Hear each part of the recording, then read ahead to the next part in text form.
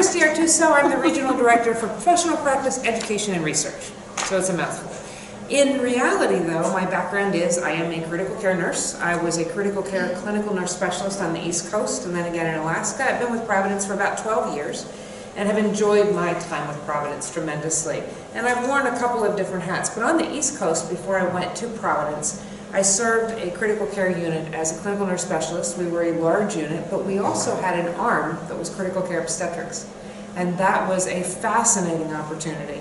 We were a large tertiary care center, uh, about 360 beds, so not huge, but university affiliated. But one of our major services was high risk obstetrics. And so we were known throughout the state of New Jersey as one of the top centers in the state for high risk pregnancies.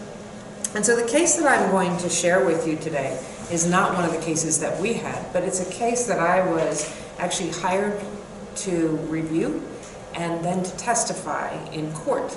And so I spent um, quite a few hours testifying on this case as an expert in shock and an expert in sepsis, as well as critical care obstetrics. So I want to share the case with you because it's a fascinating story about a young woman who had her fourth pregnancy. So let's go through this case. We'll talk about what we're going to uh, look at as far as objectives go. We're going to look at three major categories of shock. And the reason we're focusing on shock itself in a lecture that's really going to highlight some core information about sepsis is because shock is simply a descriptive term that looks at different causes of total body failure. And so it's a term that we use to describe different symptoms that you will see. Sepsis is one of those causes of shock. And so we're going to be talking about the physiologic changes that occur in the body. So we're going to do a little bit of anatomy and physiology, but we'll talk about those changes within the context of what you would see as a staff nurse when you're caring for a patient who has one of these issues. We're going to talk about the subcategories of distributive shock, and I'll define that in a little while. We're also going to talk about the clinical sequela, what you'll see, how it progresses, and what you should do about what you see. So first and foremost, we want to look at our case study. And our case study is about a 35-year-old woman who's gravida 4, para 3.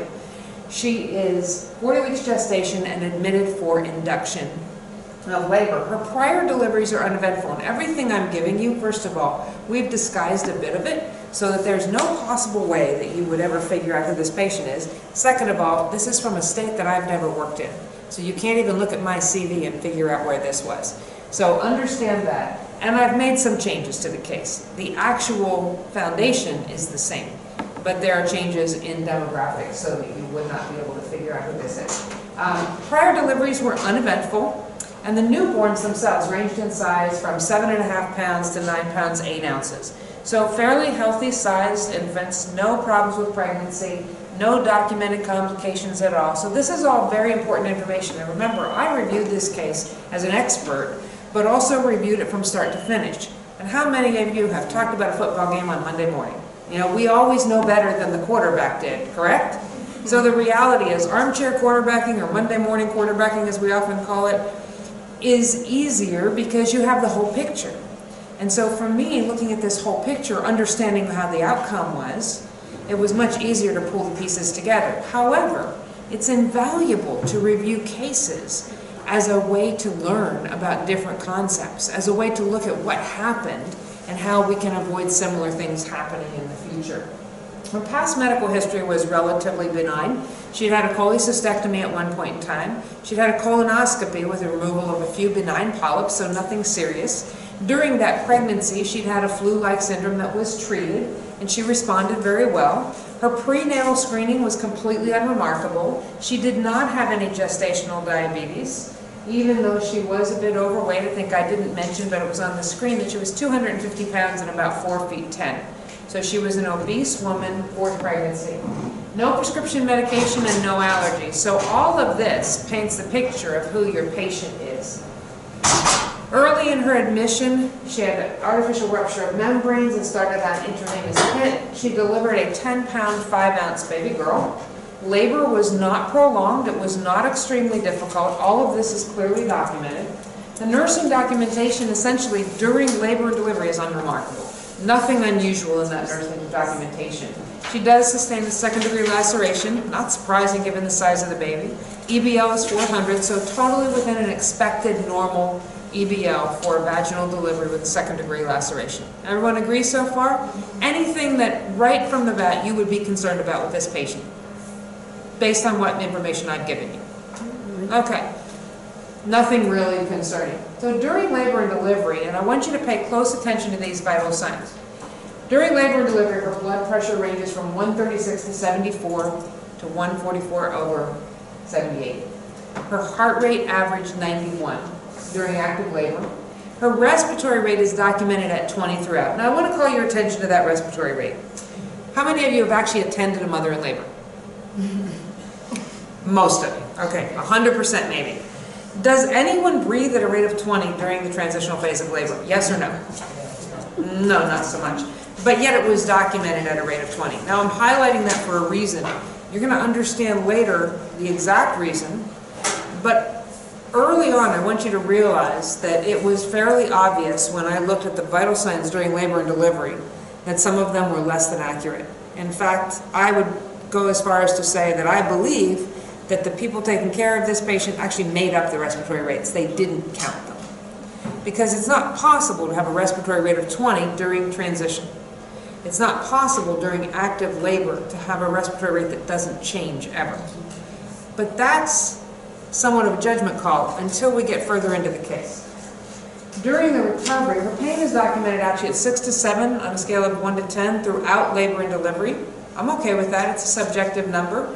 If that's what she said it was, we'll, we'll accept that. During recovery, her vital signs range from 125 over 85 to 130 over 70 with a pulse rate of 65 to 100 and again a respiratory rate of 18 to 22. It doesn't change at all.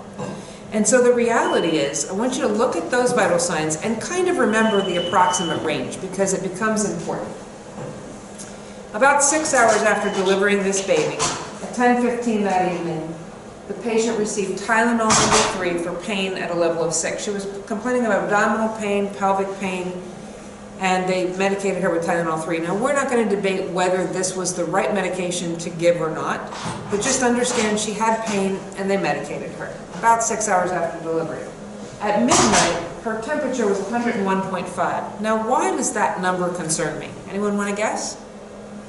Why am I concerned about 101.5 at midnight? It's two hours after you gave her some Tylenol. It's two hours after I gave her Tylenol. Tylenol is an antipyretic. It is not an anti-inflammatory, it is an analgesic and an antipyretic. Tylenol drops the fever, all right? It works to decrease temperature. And so two hours after, when the Tylenol is peaking, her temp is 101.5. So what I realized at that point is her temp is not really 101.5. It's actually higher, which is a significant concern in a patient postpartum for that few hours. So this is not a dehydration temp, this is a real fever. At 4 a.m., so now we're about six hours after that initial medication, her temperature is now 100.4, so a little bit lower, but her blood pressure is 96 over 66 and her pulse is 135. Why does that concern me? We're going to go back to those original vital signs. Yeah, her blood pressure is down significantly from her baseline. Not a little bit, but significantly. She's obviously awake. So you can't even argue the fact that, well, she was in a deep sleep when we took it. No, and I'm assuming that over the course of the past 24 hours, she slept at one point or another. We never had a blood pressure that was anywhere near that. And her heart rate's 135, and even during labor and delivery, her heart rate never went above 100. 100 was the highest. Well, okay, so you say she might be bleeding. I think that's a good point. She could be. But right now, we see low blood pressure, we see an elevated pulse rate, and of course her respiratory rate is still at 18. I'm just calling your attention to that because it just doesn't change in this patient. You're going to see why that's important. The next morning, so now we're another morning after, she continues to complain of persistent pelvic pain, lower abdominal pain, with and without movement. The physician, the obstetrician, says, I think she has a separated symphysis pubis, orders radiology film. Radiology film is unremarkable, does not diagnose or confirm the suspected diagnosis. And so they continue to treat her for this separated symphysis pubis, and the note in the chart states, not always visible on radiologic examination. Now I'm not, I'm not going to dispute that it's not always visible, but if you don't have a definitive diagnosis and you have a patient with pain, you need to do some other test to confirm that, that non-defined diagnosis, right? Mm-hmm. and they did not do any further tests. They documented that as their diagnosis of choice. We're going to continue to medicate. But here's the other thing that bothered me. Pain was with and without movement. Usually a separated symphysis pubis is going to have more pain with movement.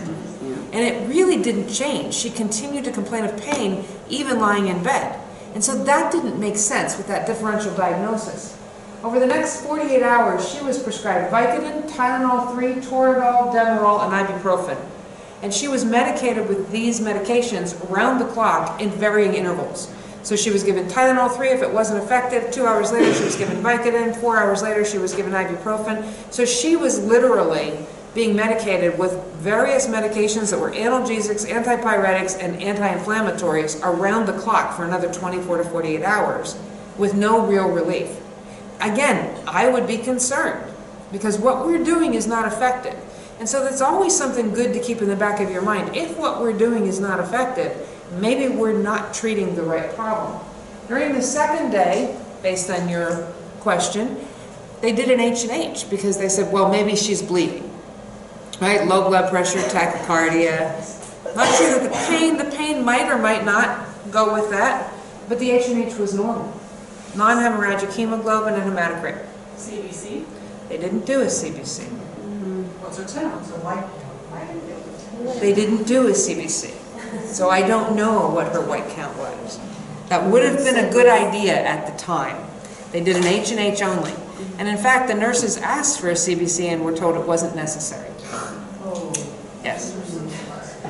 The patient's condition continued to deteriorate over the next 24 hours, so I realize this is a longer time than we normally see a postpartum patient in the hospital, but she's not doing well. She can't really ambulate without pain. She's on significant medications. Her vital signs are not essentially stable. There's something going on. They don't know what it is. They've not really done enough definitive diagnostics to determine what it is, but she's not discharged that third day. She stays in. But she becomes severely hypotensive, persistently tachycardic. Her heart rate stays in the 130s, 140s, 150s, and she does spike another temp on day three, significantly higher, 102, 103, 104. She deteriorates, she requires vasopressors, some medications to keep her blood pressure up. She is intubated, her respiratory status fails. She's placed on a respirator. They send her to the cardiac cath lab. Now, I love this one, and people that have heard me do this lecture before know that, because I looked at that and said, you did what? Why? That's what I said. The actual documentation in the chart was, we suspect a congenital heart defect. And I said, don't you think it would have reared its ugly head on pregnancy one, two, or three? I mean, congenital means you're born with it, right? And so it doesn't disappear for a few years and come back. The reality is they didn't know what was going on with her. They thought they would do a cardiac cath to see why her cardiac system was failing. Well, it was failing for another reason, and I'm going to show you why. But the reality is that she did not have a, card, a cardiac, um, a congenital heart condition. She had clear coronary arteries, but her pump was definitely failing. And so she was placed on an intra-aortic balloon pump and then antibiotics 72 hours later. So let's go on and talk about shock. And then I will give you the outcome at the very end. So shock is basically a condition. It's a term that describes a condition that basically summarizes all the systems in the body failing. They don't fail at the same speed. They fail differently in different people, but there are some things that you can clearly see that will help you understand why this happens. And it happens for different causes. And the reason that we made the decision to focus on all the causes is because there are some that you will see. Regu not regularly, not frequently, but you will see them here, not just the one that this case is focused on. So it's a process that eventually will cause the shutdown of every body system. And when that happens, the outcome is pretty much predictable and it's not good. But I like the analogy of the slinky. How many of you know what a slinky is? You know, as years go by, I'm going to get fewer and fewer hands. so trivia, this will win you. This will win you the trivia game anywhere you go. Hollidaysburg, Pennsylvania is a small town in western Pennsylvania where I was born and raised, and it is the home of the original Slinky. The only Slinky factory in the world was in Hollidaysburg, Pennsylvania. So uh, I like the analogy though because a Slinky starts out a little bit wider and then it gets tighter and tighter and tighter. And it describes nicely the progression of shock. Shock starts out very subtly, very slowly. And you begin to see some subtle changes in your patient that may not always point to a clear picture, But as the process speeds up, it becomes faster and faster and faster and faster. And you get to a certain point in the shock syndrome where there is almost a point of no return. And in fact, at one point, there is no return. And so as shock progresses, your mortality rates go up very rapidly. In the beginning, it's 100% reversible. So I want to tell you that the outcome in this case could have been very, very different. So eventual circulatory failure, what did I say? Her heart failed. That's why she went to cardiac cath, leads to cell hypoxia and eventually death. So a couple of things I want to define that are important to understand because as you evaluate what's going on in the human body, you can understand why these changes occur. We normally have a mean arterial pressure somewhere between 80 and 95, 96, give or take what our base blood pressure is. Mean arterial pressure of 60, all right, so it's calculated, is what it takes to maintain basically minimum body functions. All right, we need that amount of pressure within our blood vessels to perfuse all of our organs. That's the minimum. Usually it's much higher. When your mean arterial pressure is between 60 and 130, which is what, what we consider relatively normal, 130 is on the high side, but it doesn't mean that your, your systolic and diastolic are that high. It depends how it calculates out. But anytime your mean arterial pressure is within that range, your vessels actually auto dilate and constrict to keep it there called autoregulation. It's one of those magnificent features of the human body that works really well. So basically, my body knows that I need a blood pressure of X and a mean arterial pressure of Y, and it's going to automatically dilate or constrict my blood vessels to keep it there. It's autoregulation. Important. If you have clinical evidence of hypoperfusion of vital organs, that autoregulation kicks in. So an example that I used in each of the other lectures was a number of years ago between baby number one and baby number two, I had a relatively serious miscarriage. And I dropped my hemoglobin from 15.6 to 7.2 in about eight hours. Not ideal. But my, because I was young and healthy, my body knew that I had no mean arterial pressure. I had a blood pressure of about 70 over 40. And so it vasoconstricted, and that's why I was pale and a little bit, little bit uh, clammy and could not really stand up very effectively. But the reality is, it kept enough oxygen going to my brain and to my heart to keep my body going until I could be treated. So as we consider the body itself, that's what autoregulation does. It clamps down these blood vessels, it shunts the blood to where it needs to go, and it helps you sustain life until we reverse the condition that caused it. So that's the other key factor. We have to address the cause. You can't cure shock. Shock is only a symptom. It's a symptom of something else that has happened. But it's important to understand the physiology behind why these body systems fail because then you understand what your patient is doing. And I will walk you back through this case study and help you understand why the individuals who were caring for this patient didn't see it. So a couple of things I want to just emphasize. First is aerobic metabolism. That's how our cells work. Those of you that remember those nightmare days in nursing school where we went through Krebs cycle and all those wonderful cellular uh, biology lectures, remember that the mitochondria in the cell actually convert ADP to ATP, which is the energy of the cell. Um, it's part of the processes that happen and it's based on oxygen. So oxygen is used to convert ADP to ATP. Very simple, aerobic metabolism. We need oxygen. If we don't get enough oxygen through our circulating blood volume for whatever reason, we move into anaerobic metabolism. And that means that although our cells are still producing ATP, which we need, it's not producing it efficiently enough.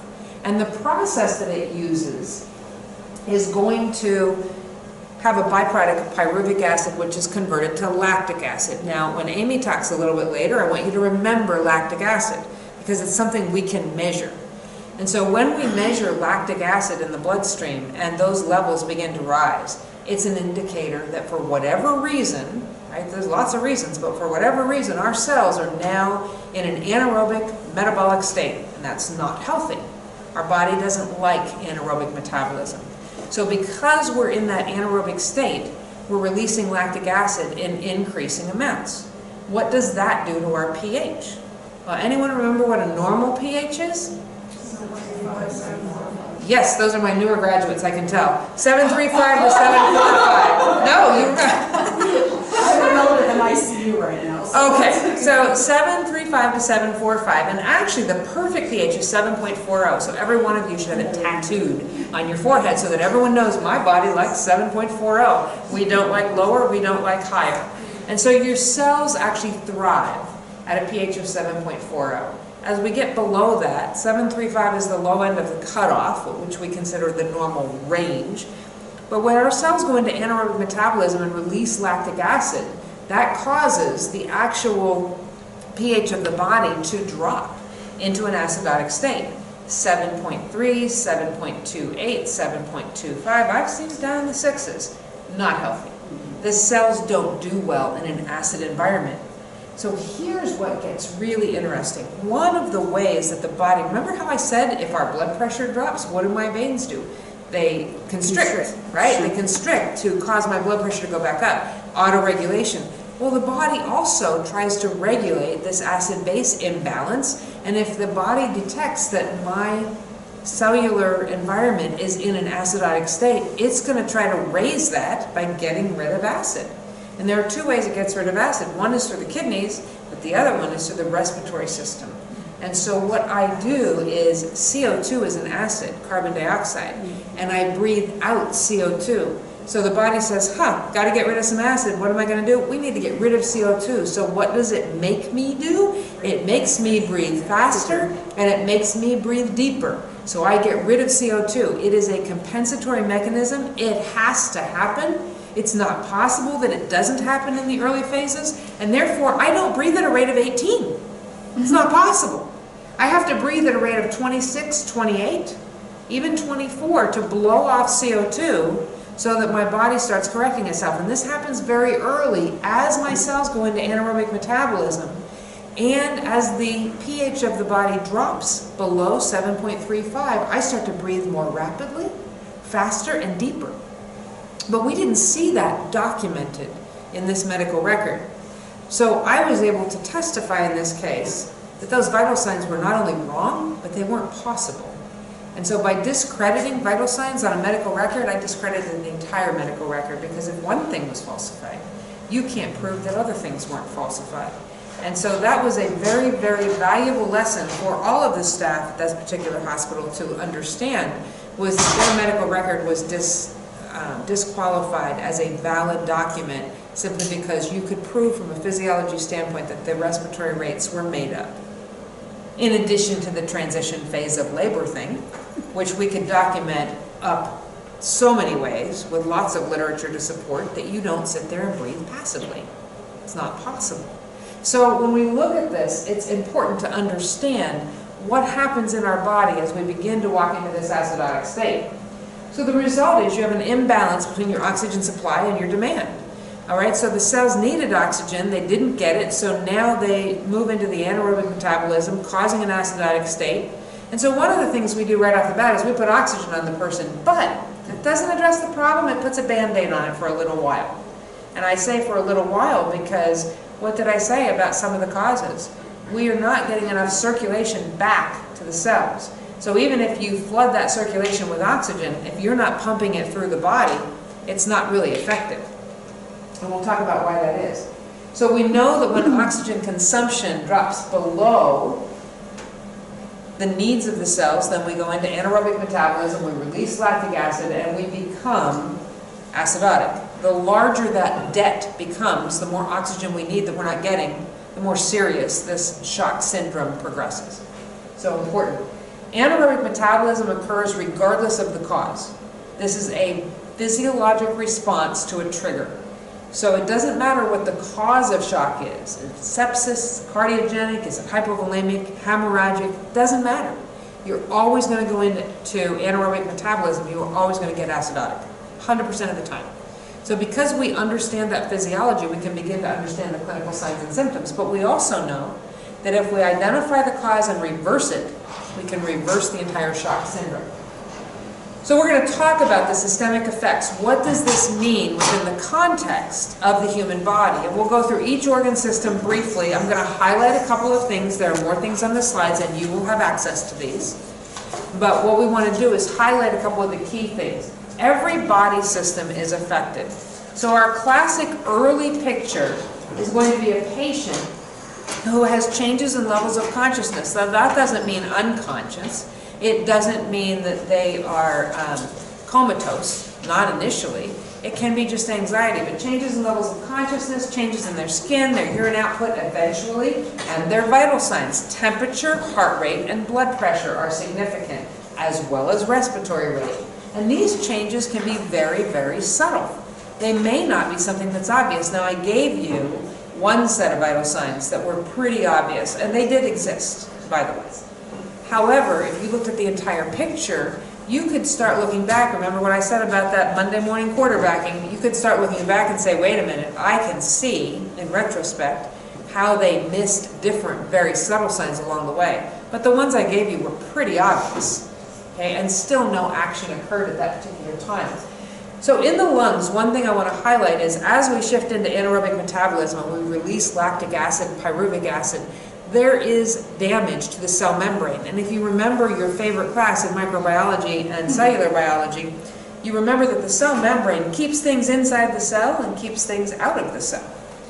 But if it breaks down, if it's damaged, then we start to see things leaking out of the cell and things leaking into the cell. So it no longer works appropriately. So they'll have electrophysiologic changes in the cell, but you're also going to have fluid leaking outside the cell. So in the lungs themselves, this is one of the biggest changes that occurs as shock progresses.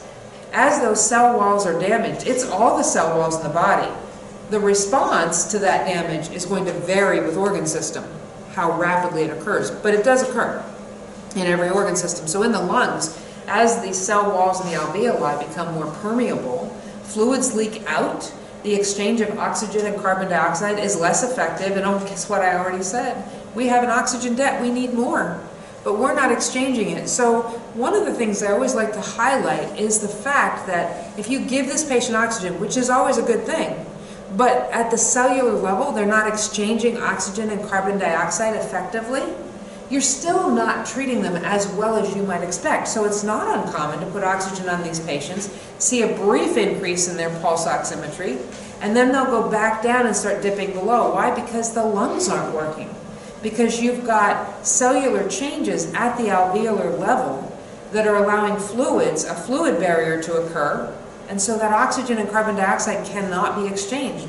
So they're breathing heavier and faster and faster and faster, and they're not effective. But the body is saying, wait a minute, I am really getting acidotic here. You need to get rid of CO2, so breathe harder. But it's not effective because now we have fluid pooling in the lungs. So early on, we see rapid and sometimes deep respirations to decrease that CO2. But later on, we have hypoventilation. The patient is exhausted. They can no longer breathe, and we showed you that in our case study. Eventually, she had to be intubated and put on a respirator because she couldn't breathe anymore. She ran out of energy, so her entire pulmonary system failed.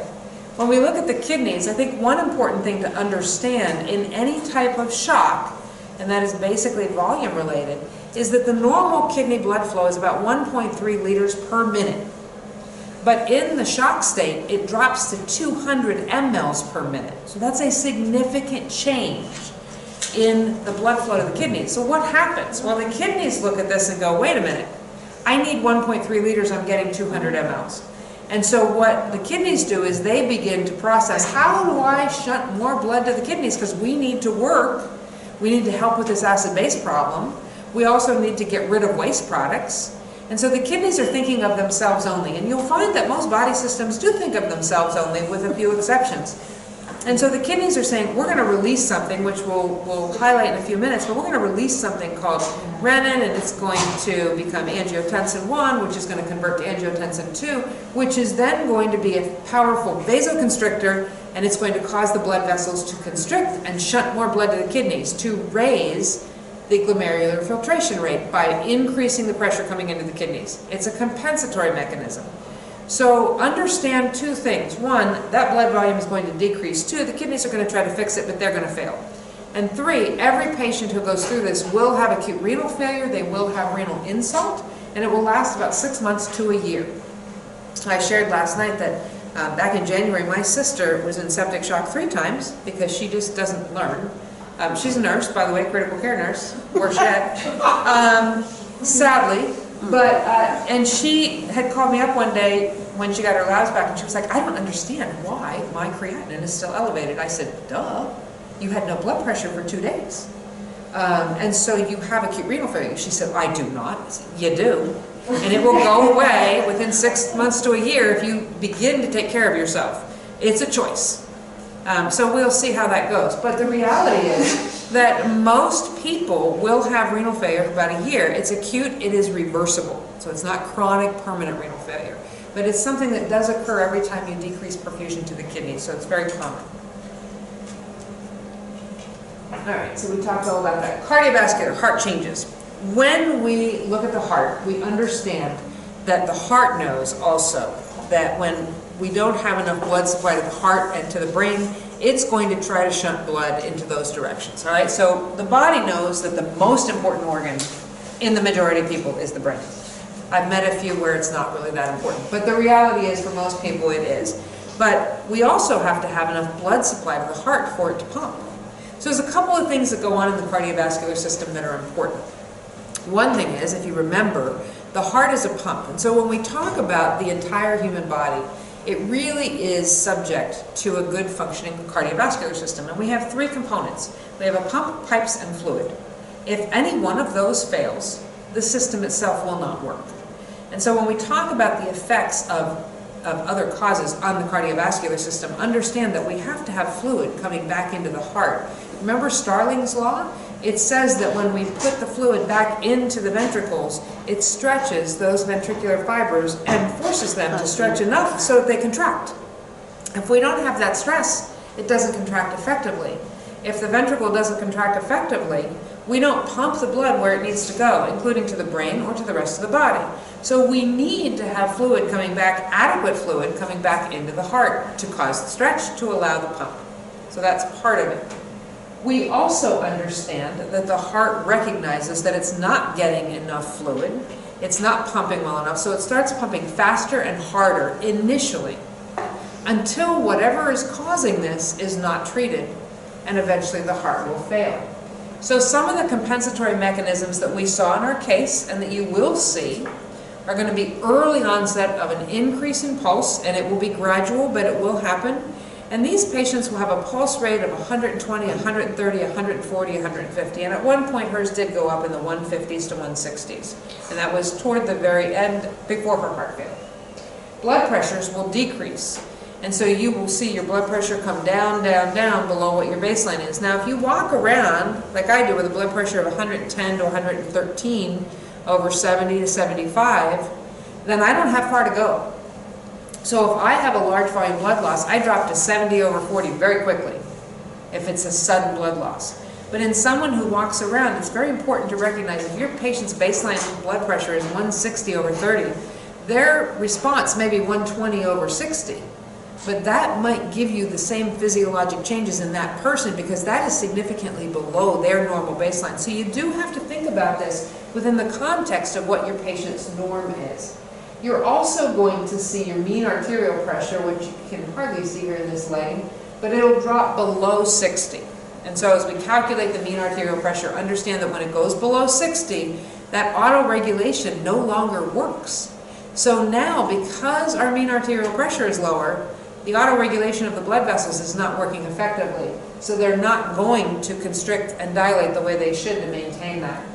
We have decreased coronary perfusion pressure, and that means that we're not getting enough blood into the heart muscle. So now the heart muscle is not getting the oxygenated blood that it needs, and so it's flipping into anaerobic metabolism. The cell walls are damaged. The electrical conduction system isn't working right. So you're not getting enough of the myocardial fibers that are working effectively because they're not getting oxygenated blood. And so we begin to see signs and symptoms of dysrhythmias. And this patient did have some ventricular tachycardia, a few PVCs, multifocal PVCs, but it was because her heart wall wasn't getting enough oxygen, not because of coronary arteries, but because there wasn't enough volume coming back to her heart. And so instead of looking for a cardiac cause, we should have looked at some other more obvious causes in this patient. There are neurologic changes, and again, secondary to eventually we won't be getting enough oxygenated blood to the brain. And what happens when the brain cells don't get oxygen? Well, they fail, just like any other cells. But initially, what we see in our patients are anxiety, and I, I had to chuckle a little bit last night because I asked the group, do you ever have patients that are anxious? And every hand went up, and I said, okay. But it's not always anxious for the same reason. So we all have anxious patients, especially when they're facing their first labor, first delivery. A lot of unknowns there. But then there's that patient who is anxious. And I have to share with you some of the comments that the nursing staff documented in this patient's medical record. Patient is lazy. Patient doesn't try. Patient complaining excessively. Patient continues to complain. Patient says she has pain. But there was an overtone of, but we don't believe that she really has pain. There were a lot of comments that were inappropriate written by professional nurses that should not have ever found their way into that chart. It, it really is, all it is, is food for lawyers. Trust me, because we used every one of them to discredit the people taking care of her. Because if that's the way you perceive this patient, how observant were you? Because this patient had a serious problem that was not uh, diagnosed appropriately. So the reality is, I want you to remember that lesson, and I've always remembered it. And it is a hard lesson to learn. You don't want to learn it the way those nurses did. But the reality is, we eventually have intracranial hypertension because the, the blood vessels in the brain will actually clamp down, and that will cause an increase in blood pressure in the brain, which also causes cellular damage to the brain cells. And so eventually, your brain, your vital control centers in your brain that control your heart rate, your blood pressure, your respiratory rate will fail.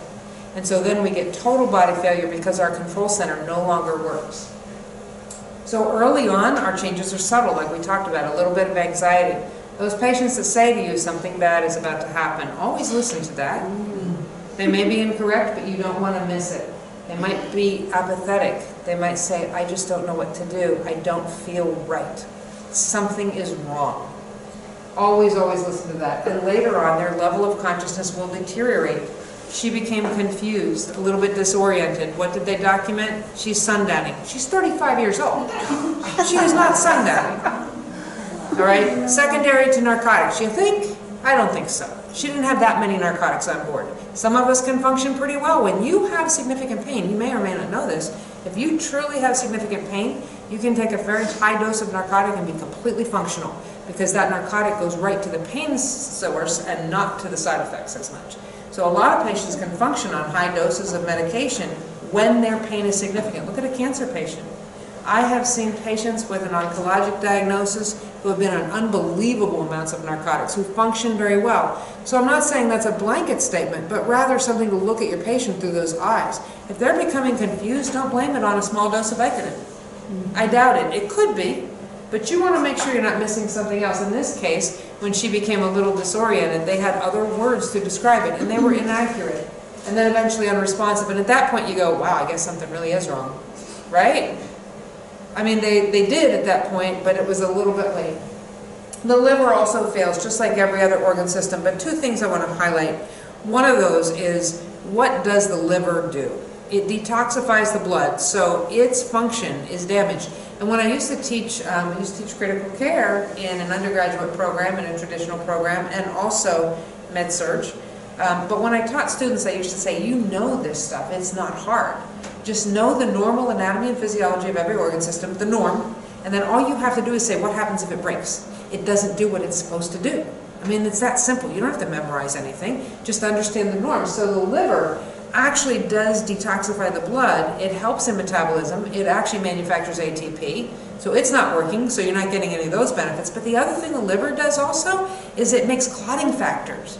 And so it no longer is able to make clotting factors. So what happens to these patients as you get further and further along, they are unable to clot their blood. And so now you have that lovely um, dragon called DIC that sets in, and they literally, it's a clotting disorder that results in bleeding as a symptom. So these patients will bleed to death internally over a short period of time, if not reversed. GI, so believe it or not, your GI system is the least important system in your body, and I know that around lunchtime we don't feel that way. But the reality is that when you have a major um, concern in your body that is impacting the amount of blood volume that's circulating, one of the first organ systems to be um, affected is the GI system. because your body knows that it is the least important, so it shunts the blood away from it to the other more vital organs. Makes sense. But guess what? One of the early subtle signs and symptoms you will see is hypoactive bowel sounds. These patients will have no appetite. They will say, I'm a little bit nauseous, I don't feel like eating, nothing sounds good. And you put a stethoscope on their abdomen, and guess what? They're not, they, they don't have any bowel sounds. So that tells you that for whatever reason, the body is shunting blood away from the GI tract, and you might want to look at why that is. So very, very early signs. So slow increase in respiratory rate, rapid and deep initially, and hypoactive bowel sounds are two of your earliest, and anxiety, three of your earliest clinical signs and symptoms that something is wrong. So these patients eventually will develop gastric ulcers or stress ulcers, but one other thing that happens is, remember we talked about that cell membrane that breaks down because of all the anaerobic metabolism? Well, the bacteria, the good bacteria in the gut leaks out. And so they develop massive peritonitis. So they have third spacing of abdominal fluid. They develop what looks like a pregnant abdomen in a non-pregnant patient, all full of fluid and bacteria. And so they will develop a massive infection. We have some hematologic changes that also occur at the same time. Again, your hematologic system. Uh, clotting factors are a big one that are not produced effectively, and so again, it contributes to the DIC. Leukopenia also occurs. This is bad if you have an infection. And so because of the changes to the hematologic system, to the bone marrow, that doesn't produce white blood cells as effectively. There are neuroendocrine responses as well, and a couple that I always like to highlight. The first one is that fight or flight response. So your neuroendocrine system will release epinephrine and norepinephrine. Why? Those are going to increase your heart rate. They're going to vasoconstrict your blood vessels. They're going to raise your blood pressure. It is a response to a trigger. So the brain gets told there's not enough circulating volume, don't know why, don't care why, but it's not working for me right now. Release these substances so we raise the heart rate and we raise the blood pressure. And you know, we can infuse these or inject them in patients that need that immediate push to improve their blood pressure, but it's not something you can sustain life on for a long period of time. So we call it the fight or flight response, and it's meant as a quick fix. So that's one of the triggers. The other one is the release of some other mediators that also help to increase our blood volume, and that is ADH is released. And when ADH is released, um, anti-diuretic hormone, the way to remember this, I know some of you are going, oh, I hated those hormones. Well, it's not so hard, really. ADH, anti-diuretic. Anti-diuretic means I do not pee. So it's the opposite. So if I don't pee, I retain water. And that's exactly what ADH does. When we release ADH, it causes us to retain water, build up our fluid volume, and increase the volume coming back to the heart so that it pumps better. It's merely a feedback mechanism. Important to understand that that happens. So the skin changes also occur, and initially, because we are now clamping down everything, initially, sending it back to the heart, we have skin that is cool, pale, and clammy. Then, those systems fail, we have massive vasodilation, we become pink, red, warm to the touch, and you know what normally happens? People go in and say, oh, you look so much better, because cool, pale, and clammy looked bad. But now that you're pink and warm, I'm happy. You shouldn't be happy, trust me. It's just a it's the next phase before you get to cold, cool, cyanotic, and mottled, which we know is bad. So when you see the early signs, which is pale, cool, and moist, and they all of a sudden get to a little bit flushed, red, and warm, you should know that the next one to come is cool, cyanotic, and mottled. All right, so that is the progression in the integumentary system. So the immune system is also affected, so if you have an underlying infection, they will not respond to that as effectively. So we're going to talk about three classifications. That's one of your objectives. There are three easy ones. Hypovolemic, all right, lack of fluid. Cardiogenic, pump doesn't work. Distributive, pipes are too big. Okay, so three easy classifications. And distributive shock has three types, anaphylaxis, neurogenic, and septic. When we look at hypovolemic very quickly, loss of blood volume. You all know this one. You've been in situations where you've seen it.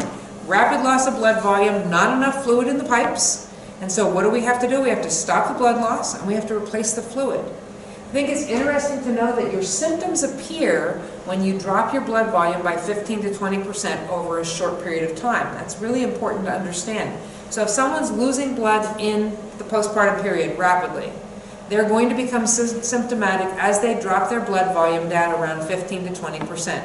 So if the average woman is between 6 liters and 6.5 liters of blood in their body, and they lose a liter, that's getting close to the 15%. If they lose 1,500, you're almost at 20, you're around 20. So at a liter to 15%. So if you don't know that that patient is bleeding, but you look at their clinical signs and symptoms and you start to see the tachycardia and the low blood pressure, you can automatically assume that somehow they've lost about a liter to 1,500 cc's of blood because that's when the symptoms appear. If they're not symptomatic, they probably haven't lost that much. There may be something else going on. So you want to use this in a differential diagnosis way. The other thing to recognize too is if the blood loss occurs over a long period of time.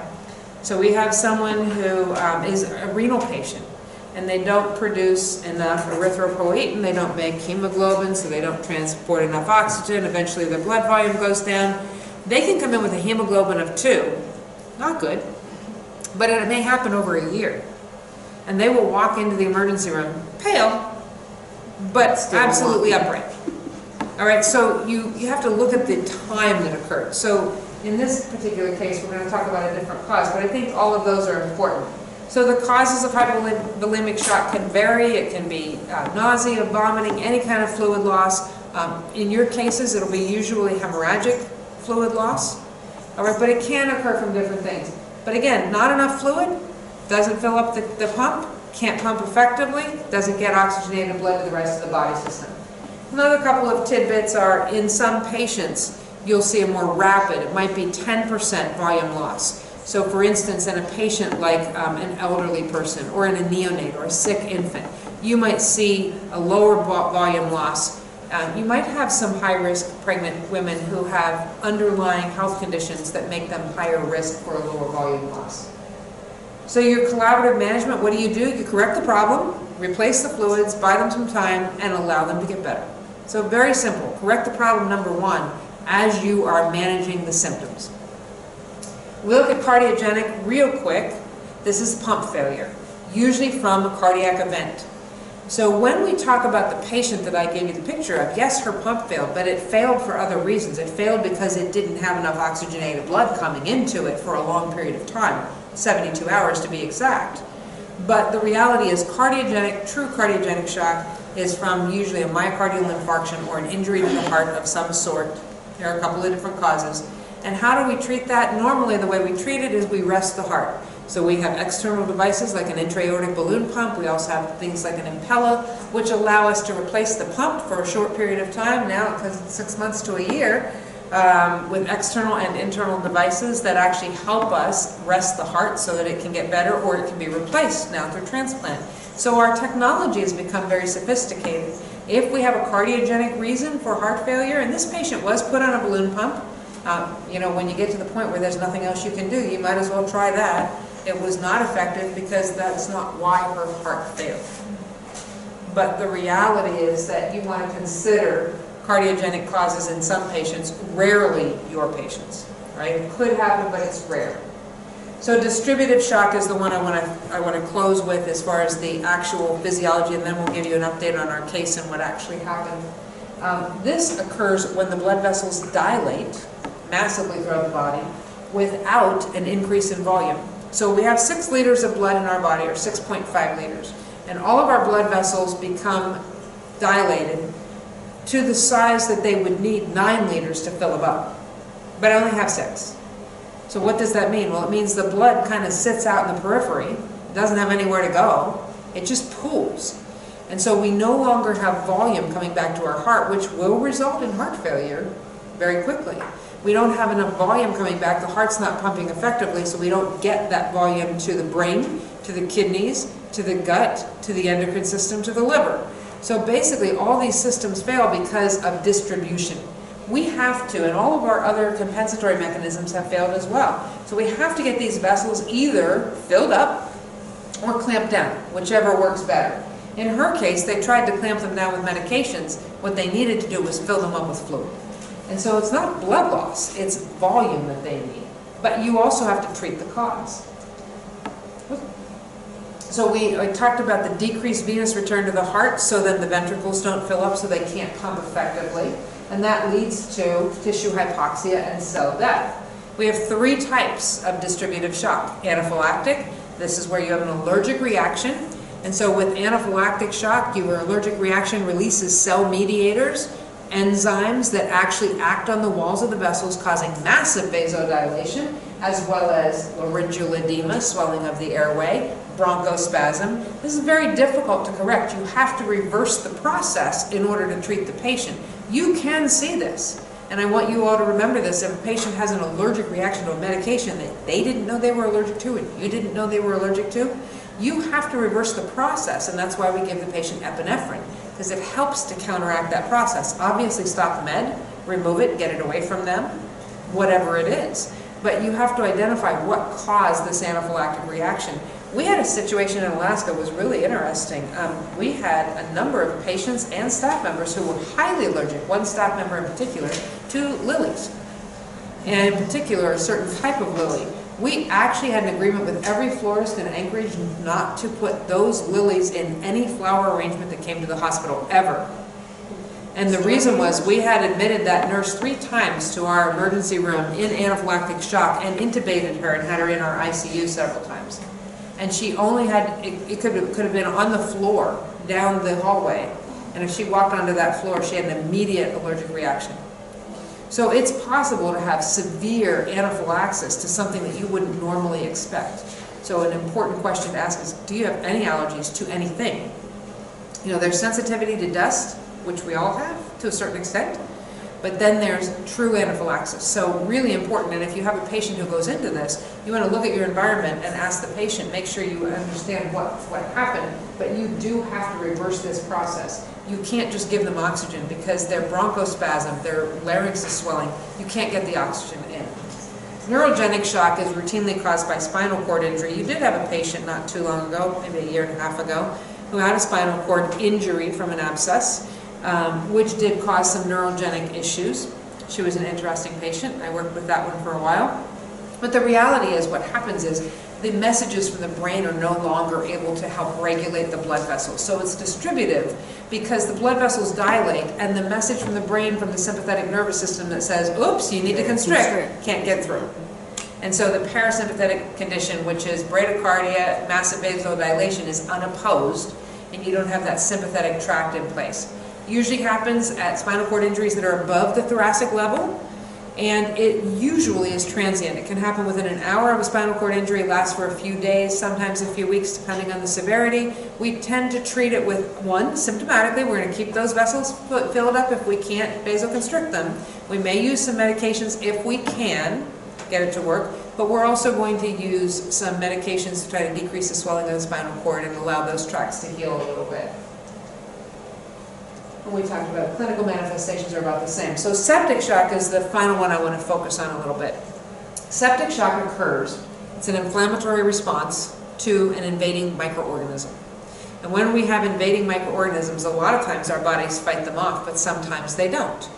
And if your body does not fight it off effectively, those microorganisms begin to take over and they release endotoxins and exotoxins. And the endotoxins and exotoxins are extremely um, effective at vasodilating. So the infection itself releases enzymes, toxins that vasodilate massively. So the classic picture of someone in septic shock or someone who has sepsis or a body, a system-wide infection is that their uh, vessels vasodilate. Their blood pressure drops, their heart rate goes up, and eventually it, it never responds to anything. So the initial treatment of sepsis is oftentimes fluid massive fluids, sometimes two to three liters over the first hour, sometimes more than that, of just fluid to fill up the vessels so that we can get some cardiac output going. Remember, they haven't lost any blood. They just have all of their blood pooling in the periphery. So they need nine liters, they have six, and we have to fill up those pipes.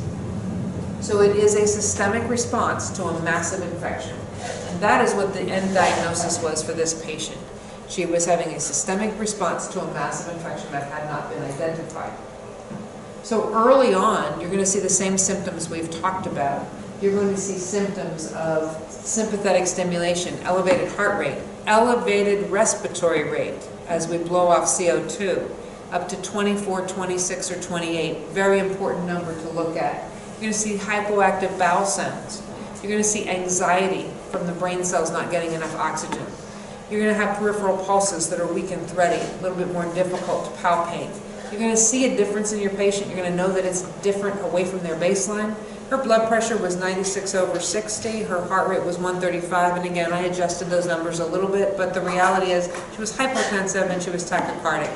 Don't know what her respiratory rate is, never could figure that out, but I do know it wasn't 18. All right, but the reality is her temp was 101.5 on Tylenol, which means it was higher. So all of those clinical signs and symptoms point clearly to an infection. Later on, when the body can't meet its oxygen needs, you're going to have a decrease in cardiac output with severe hypotension. That happened to her. You're going to have weak, rapid, thready pulses, hypothermia eventually in the later phases. The body can't maintain its temp anymore. You have no white blood cell count left. So early on, your white blood cells, had they been measured, had that CBC been done on day one and that night, it would have probably been 20 to 30,000. But since we didn't have that information, we couldn't measure it. But when they did finally get a CBC on that cardiac cath table, we were 2,000. She oh, had no white blood cells left. All right, so they had all gone to the source of the infection and been eaten up at that point because all of her body systems had failed. Hypothermic, cold, clammy, mottled skin. We made it through all three. So she was pale, diaphoretic at first, and then she got warm and, and pink, and they went, oh good, she's better. Wrong. She ended up mottled and multiple organ failure, which is obvious. So the body compensates, and we already talked about this. Just as this illness or injury triggers all of these systems, we see compensation. Vasoconstriction, so it helps get your blood pressure up a little bit. Fluids start to shift from the tissues to the vascular bed. That increased respiratory rate is significant. But eventually, you're going to lose that. And we talked about the GI tract and the chemo and the uh, renal system. So two things I like to mention, and you all are especially understanding of this. So we have chemoreceptors and baroreceptors in our neck, so in the carotid bodies that are located in the neck. And we used to, years ago in ICU, we used to put patients in Trendelenburg when their blood pressure went down. And we stopped doing that. And that was because we put them in Trendelenburg and their blood pressure would go up. Well, of course it would, because we stopped triggering those because all of a sudden they felt, oh, they had already responded, vasoconstricted, the blood pressure went up nicely. And then real quickly, when those mechanisms stopped working, the blood pressure plummeted again, even though they were still in Trendelenburg. So we learned to raise the feet and send the blood back to the heart, but not to not to dip them into Trendelenburg. But you do that with some of your preterm labor patients still at times. And so remembering that those carotid bodies and the chemoreceptors and baroreceptors are going to identify decreased oxygen, increased CO2 in the blood, so that's the chemoreceptors, and the baroreceptors identify changes in pressure. So they also will send messages to the brain to vasoconstrict, but they will fail eventually.